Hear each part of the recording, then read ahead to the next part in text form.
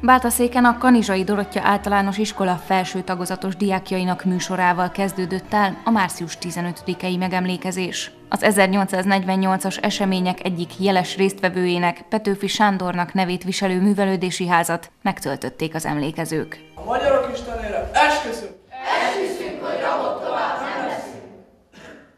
A műsor után a Romkertben került sor a város polgármesterének ünnepi beszédére.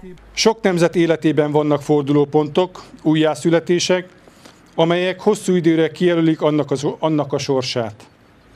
Kijelölik azt a történelmi utat, amelyet az elkövetkezendőkben járni lehet, és amelyeken járni kell. 1848. március 15-e egy ilyen pillanat volt a magyar történelemben. Bozsolik Robert elmondta, a magyar forradalom és a szabadságharc emléke ellentétes érzelmeket vált ki az emberekből. Első körben persze örömet és felszabadultságot. Egy vér nélküli forradalommal egy demokratikus működés irányába indult el az ország.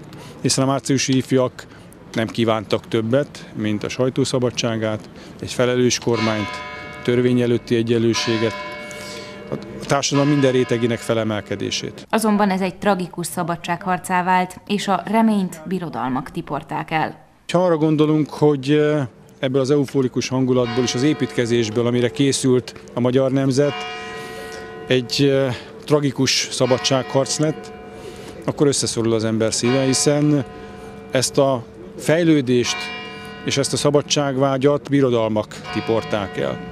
Többek között az orosz birodalom. A jelenlévők a szabadságharc századik évfordulójára állítatott emlékműnél helyezték el a koszorúikat.